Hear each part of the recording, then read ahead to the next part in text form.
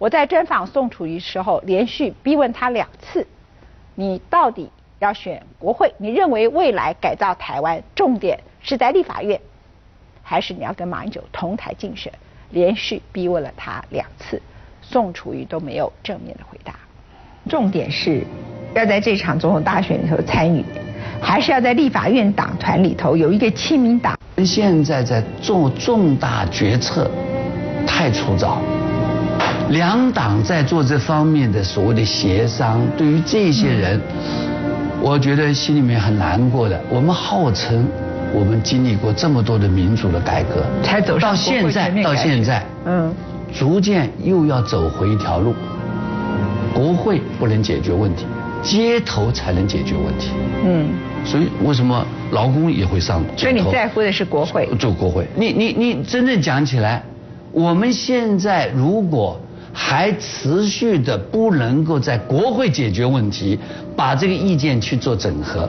台湾的意见已经不是只有两个极端，宋主席你也不是蓝的绿，宋主席是有很多需要多元化的 compromise。所以宋主席等于是在我们的节目里头告诉观众说，你不会参选跟马英九同台的竞选吗？我在这里不需要马上去决定要到底要去做什么决定，但是我很明确的可以说，亲民党对于。我们的这个叫做政党票，特别是特别是不分区的政党，我们会提出我们的名单。你问我要做什么，那就是在国会里面，我们真正能够找到很多很多，重新找回台湾民主的所谓的价值。到底我们应该走上街头来吵架，还是我们可以去国会去整合这些意见？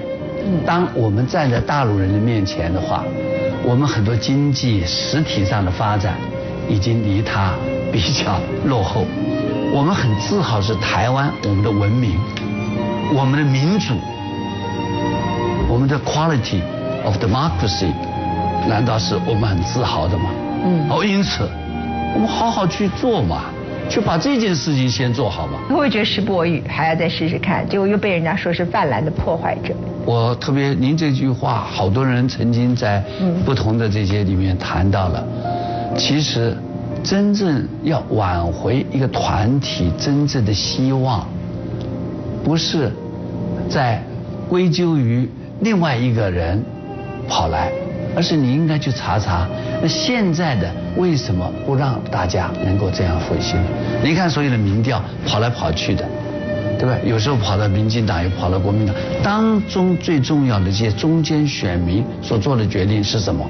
今天我们所要选择的，不是说还在那边说我要维护那个招牌。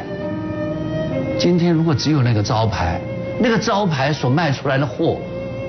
跟你所想象的完全不一样。